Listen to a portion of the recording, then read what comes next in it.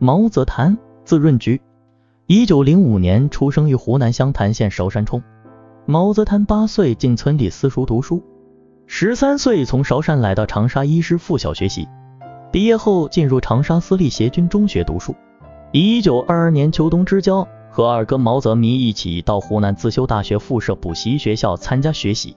不久毛泽覃便加入了中国共产党并担任社会主义青年团地方执行委员会书记。